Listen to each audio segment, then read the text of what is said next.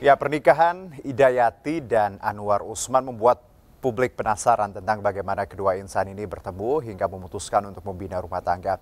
Ternyata kisah cinta Anwar Usman dengan Idayati tumbuh ketika dikenalkan seorang teman pada Oktober 2021. Ketua MK Anwar Usman ternyata pernah mengungkapkan alasannya terpikat dengan sosok Idayati. Anwar mengaku terpikat dengan ketaatan Idayati dalam urusan agama. Sementara itu Idayati mengaku dirinya merasa ada kecocokan setelah dikenalkan ke Anwar Usman oleh temannya. Setelah beberapa kali bertemu dan mengobrol, mereka mengaku ada kecocokan.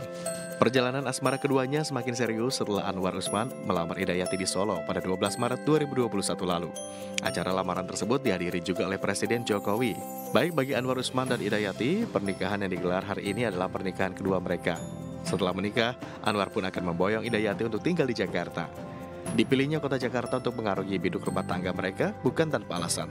Anwar masih berstatus ketua MK dan petugas di Jakarta. Dalam pernikahan ini ada dua barang yang dijadikan mahar, yaitu perlengkapan sholat dan jam tangan. Tim Liputan Anyus melaporkan.